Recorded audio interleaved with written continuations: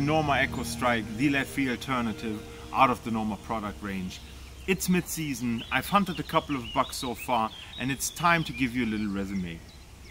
I'm highly satisfied with the performance of the Norma Ecostrike. At the beginning of the season I hesitated to move from the 308 to the 30-06 to the faster bullet because I feared trauma on the meat.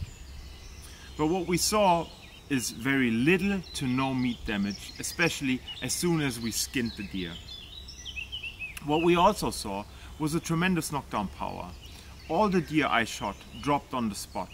So if you're looking for a lead-free alternative on your hunting ground, I highly recommend try to get your hands on the Norma Ecostrike and test it yourself.